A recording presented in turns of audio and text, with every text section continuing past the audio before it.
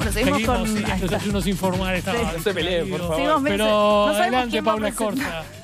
Bueno, seguimos con, con más información porque, como ustedes saben, la asunción de Fernando Pereira en el Frente Amplio, entre otras cosas, generó la creación de distintas eh, comisiones. Por ejemplo, eh, la Comisión de Género y Feminismo, que es la que preside Patricia González, exdirectora de la División de Género de la Intendencia de Montevideo, o la Comisión de Cultura, que preside Gabriela Iribarren, ex candidata a la departamental de Montevideo y además eh, conocida actriz, y una Comisión de Derechos Humanos que está a cargo de Adriana Barros, dirigente de la vertiente artista. Bueno, ¿qué, qué implican estas nuevas eh, comisiones de género? ¿Cuáles son los, los objetivos que, que tienen de ahora en más? Lo vamos a estar hablando con Patricia González, que ya está con nosotros en estudio. Muchas gracias, Patricia, por venir. Buen día. Muy amable. Buen día para ustedes. Bueno, esto- esta creación de estas comisiones, eh, ¿ya se venía hablando desde antes de la asunción? ¿Ya, ya tenía una, una cosa previa o fue una, una idea y un objetivo de Pereira? Bueno, creo que hay una sensibilidad particular, ¿sí? En relación a esto hay un como una noción de que, de que los feminismos y que los temas de género tienen que ser un poco más centrales adentro de la fuerza política, pero hay una historia larga, ¿no? Y hay una disputa bastante larga a la interna de, de nuestra construcción política, que tiene muchísimas compañeras en la historia, pero es un planteo jerarquizar la discusión y jerarquizar los planteos. Que no es solamente que haya compañeras y que haya paridad, sino dar un poco más la discusión sustanciosa de cómo hacemos política adentro de la fuerza política y cómo eso representa, de alguna manera, eh, las formas de construir que el feminismo pone arriba de la mesa, que hay cosas que están en tensión que, no, son tan simples, digamos. eh, y bueno, y creo que hay una apuesta a, complicarnos un poco la vida, ¿no? a, cambiar un poco en el adentro, eh, siendo que el movimiento feminista, eh, hoy en día ninguna gurisa de 18 o 20 años no se dice feminista. Entonces, hay algo que llegó para quedarse y que se instaló en la sociedad y hay una pregunta de cómo la fuerza política que tiene como objetivo representar a la izquierda, pone esto dentro de sus prácticas y sus temas centrales. Entonces, creo que tenemos un desafío de empezar a construir de otra manera y que empie- empieza o continúa un tramo que espero que sea largo eh, y conflictivo, ojalá que lo sea. Le ha costado a la izquierda, ¿no? El tema de eh, dar liderazgo o- o permitir de alguna forma que las mujeres tengan su lugar. Si bien, por supuesto que hay ejemplos, eh, no, no ha sido fácil, ¿no? Ha sido un trabajo a la izquierda y a, y a todo, y a todo el costado sistema, político, en general. Le ha costado pero- el sistema político. Al sistema Bueno, político le cuesta mucho. el. A los partidos políticos les cuesta mucho. A las organizaciones clásicas, ¿no? La organización de finanzas, organización y propaganda, incorporar una forma de hacer distinta o comprender una manera de hacer distinta, el feminismo construye de otra manera, en red. No tiene secretaria general, no hay una vocera, no hay un. Y esas cosas como son distintas a la organización clásica donde uno sienta, bueno, el secretario general de La jerarquía. un lugar y la jerarquía y esa persona habla por todo el resto. Bueno, en el caso del feminismo no pasa de esa manera. Y no solo tiene que ver con incorporar a las mujeres, sino que creo que tiene que ver con incorporar a las agendas. Y que también para muchas feministas, a lo largo de la historia del Frente Amplio, es como que tenés que elegir entre ser feminista o ser de izquierda. Creo que muchas de nosotras no, no estamos para elegir. Militamos en una organización mixta, eh, pero no vamos a elegir entre, entre el feminismo y nuestra discusión de clase y nuestro planteo de clase, porque también entendemos que hay cuestiones de la agenda como la pobreza. eh, la pobreza son mayormente mujeres y son mayormente niños y niñas. Entonces, y, y hablamos de los pobres y no hablamos de las pobres. ¿no? Lo que decía la Chela en este momento, bueno, la historia de las mujeres que estuvieron presas es la historia también de las mujeres. Y hay una invisibilidad en las construcciones, en cómo las decimos, en cómo las nombramos, que también es parte de lo que queremos poner en discusión. No solo que haya una mujer para cuando pongamos la foto decir, bueno, eh, no son solo varones y tienen una mujer. Es para decir, bueno, las mujeres vivimos de otra manera, construimos de otra manera, nos pasan otras cosas, estuvimos en otros lugares y queremos que eso sea parte de la agenda política del Frente Amplio. ¿no? La educación sexual integral, ¿no? como temas sustanciosos. La violencia basada en género, la violencia política. Queremos discutir eso en el adentro y queremos discutirlo para afuera también. ¿Qué es la violencia política? Y bueno, hay como una, hay una construcción de prácticas permanentes que hacen que la supervivencia de las mujeres adentro de los partidos sea bastante difícil, ¿no? Y hablo de los partidos porque le pasa al Frente Amplio, pero, pero creo que cualquier compañera, cualquier mujer que, milite en un partido político sabe que es así. Es muy difícil tomar la palabra, eh, es muy difícil que los compañeros, sobre todo más de, la vieja guardia, reconozcan lo que vos tenés para decir, desde dónde lo decís. Es muy difícil además cuando vos llevas la vida a cuestas, ¿no? O sea, las mujeres seguimos encargándonos mayormente de, las cosas domésticas. Quiere decir que vos lavás el baño, limpiás, cuidás a tus hijos, te encargás de la escuela, todo eso, y además militás y además laburás.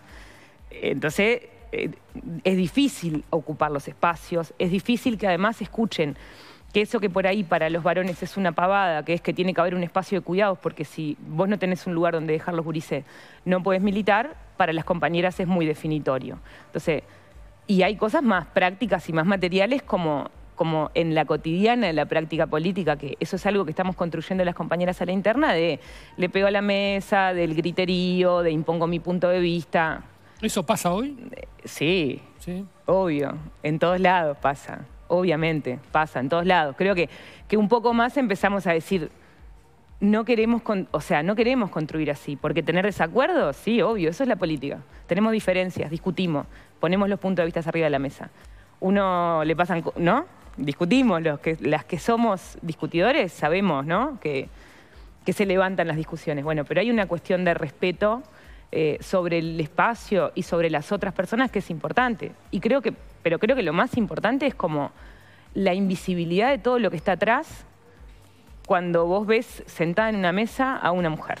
No, ves todo por todo lo que pasa esa mujer para llegar a ese lugar. Y creo que la vivencia de las mujeres jóvenes adentro de la política es una vivencia bastante más difícil. Yo ya no me cuento como una mujer joven, pero, pero creo que para las gurisas de 20, 20 y poco, entrar a discutir eh, en espacios políticos es bastante difícil, porque que te den bola, que crean que lo que tenés para decir es importante, que alguien levante algo de lo que vos dijiste como para no sentir que pasaste por un lugar y dijiste algo y, nadie dijo nada más. Entonces, eso y después el no considerar que las mujeres podemos ocupar espacios, ¿no?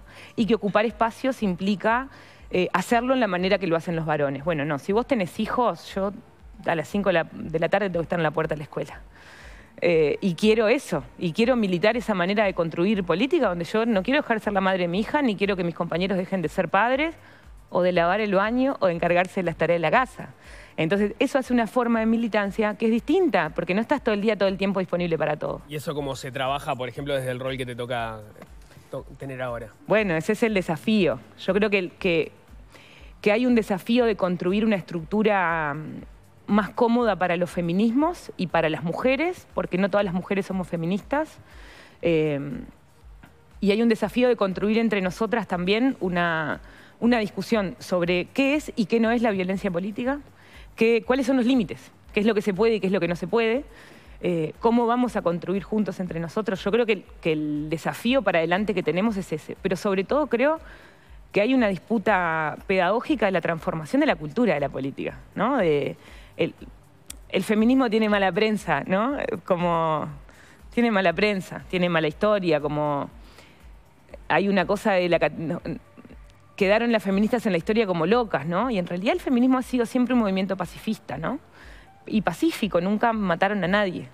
Si mirás todos los movimientos, no, no matamos a nadie. Las feministas, capaz que decimos las cosas tantas veces que a veces las decimos más fuerte, porque las dijimos muchas veces, pero, pero lo que pasa es que en eso no tener, como tú decías, no tiene un presidente, una presidenta, una secretaria general, no hay un organigrama, a veces la voz queda dada, eso tiene beneficios y riesgos, porque una institución que tiene un, vocero, un presidente, es el que habla y es el que da la línea. Ahora, cuando es abierto, a veces los que dan la línea o los que parecen dar la línea o pueden ser los más radicales, o los, o los que comunican mejor, pero no queda claro si puede haber muchos discursos que... Está bueno, hay una cosa re loca, es que casi todos los... La, gente sabe que adentro del sindicalismo hay corrientes y hay versiones y... Y en el feminismo es, bueno, ah, lo que pasa que, bueno, hay corrientes, hay puntos de vista. Lo que pasa que hay una cosa ahí que tiene que ver también con nuestra formación, y es que no leímos nada de feminismo, ¿no? O sea, no leímos en la, los que fuimos a la universidad, no leímos en la universidad, eh, no tuvimos espacio de formación. Leen, los varones leen muy poco a las mujeres y se ha leído muy poco la historia de las mujeres, o sea, eh, y hay bibliotecas enteras de construcción sobre los procesos, ¿no? Entonces, hay muy poca formación general para decir, bueno, el feminismo radical tiene 200 años, no, no, no empezó ahora. Las olas tienen esa tarea también, creo, de la pedagogía feminista. Y creo que sí, hay, un, hay, hay vertientes, posiciones distintas, diferentes, y yo me siento representada por mujeres que militamos con varones y, militamos en organizaciones mixtas. Eh, y, además, por ser de izquierda, creo en una transformación social y en una transformación cultural, que no es como en esa lectura de ahora llegamos las mujeres, el poder de las mujeres, pero sí también es llegamos las mujeres y estamos las mujeres. ¿no? Eh, eh, es no solo, ¿no? cuando no quieren, las mujeres no quieren cargos, sí, también necesitan tener cargos políticos y, ser voceras bueno, del proceso. muchas veces se cuestiona, ¿no? Se, dice por parte de algunos, bueno, las mujeres lo que quieren es poder. Sí, Como si de alguna forma eso estuviera mal. Es que las mujeres lo que quieren es poder. El feminismo es una disputa de poder. Pero no una disputa de poder por el cargo político para que una mujer esté en un lugar. Una mujer no sirve para nada. O sea, divino que haya una mujer en un lugar. Creo que cuando llega una mujer a ser presidenta es porque de alguna manera eso responde a un proceso político que habilita eso. Pero que haya una mujer en un lugar o que haya una presidenta de género en un lugar no cambia nada. Cambia cuando hay grupos de mujeres y procesos de mujeres que toman eh, protagonismo dentro de los procesos políticos. Sí, eh, ahora Perdón, no, pero mm. al margen total, hoy tenemos vicepresidenta mujer, intendenta Montevideo mujer, senadores o alguna senadora muy visible. Es decir, ¿ha cambiado o no ha cambiado? Sí, ah. sí, sí, ha cambiado. Y hay, una, hay muchas más mujeres haciendo política. Y hay más mujeres que además eh, se animan a hacer el, proceso de la política. Es muy difícil eh, hacer política si, sos una mujer, ¿no? Por tu vida misma, por lo que te reclama tu vida privada, por lo que te implica entre las otras personas y yo creo que las mujeres que llegan a esos lugares habilitan a pensar, decir, bueno, ¿y por qué yo no podría estar ahí? Yo creo que sí. No creo que eso sea mm, la emergencia del feminismo en la política. Una o dos o tres mujeres. Creo que hay que cambiar más la práctica, ¿no? ¿Cuál es esa emergencia del feminismo en la política? Y bueno, creo que tiene que ver con esto de la transformación de la cultura, del, del hacer política de otra manera, del también interpretar, decir, bueno, si para la izquierda... El Ministra de Economía, me olvidé también. ¿eh? Hay realmente muchos puestos claves en manos de mujeres. A ver, si... Voy a discrepar igual contigo en algo.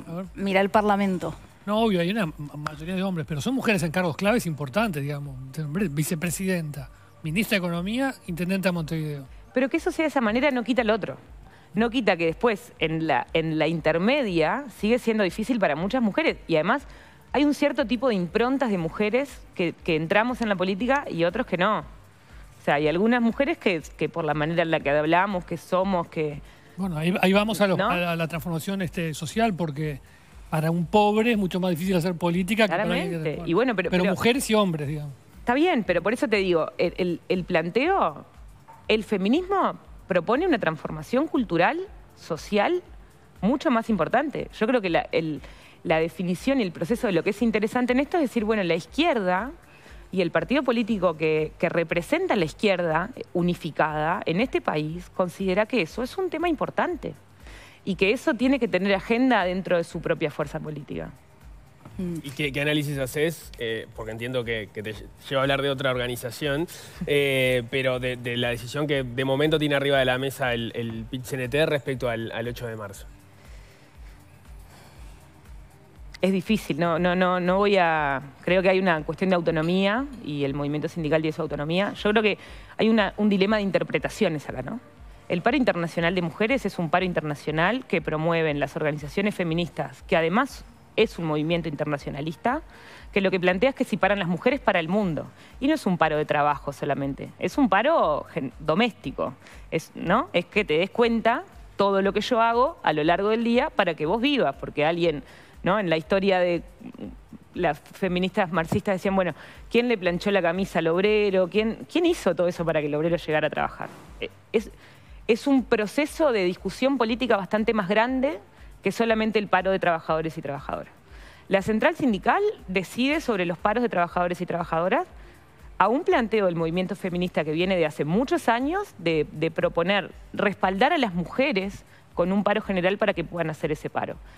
Em, ¿Era una buena señal para el feminismo hacer eso? Sí. Eh, ¿Tiene que hacerlo el movimiento sindical? Formalmente no lo tiene que hacer. Eh, creo que además el movimiento sindical a la interna tiene sus propios procesos también. Hay un montón de mujeres adentro de los sindicatos que dan discusiones adentro de los sindicatos, que construyen adentro de los sindicatos. A lo que sí me niego de alguna manera es a decir esto es mujeres contra, contra mujeres. Esto no puede ser eh, mujeres del movimiento feminista en contra de las mujeres del movimiento sindical. Las mujeres, hay mujeres del movimiento sindical que están de acuerdo con el paro general de hombres y mujeres, y está bien, y tienen una construcción política eh, que tiene puntos que son interesantes, que podemos compartir o no, eh, y el movimiento feminista tiene otro planteo. Yo tiendo a pensar que las organizaciones más clásicas como la que yo integro deberían avanzar hacia acercarse un poco más al feminismo y que eso es una señal de época también.